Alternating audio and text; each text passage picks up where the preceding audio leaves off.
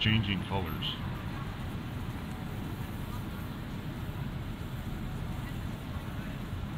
This is so weird. And uh,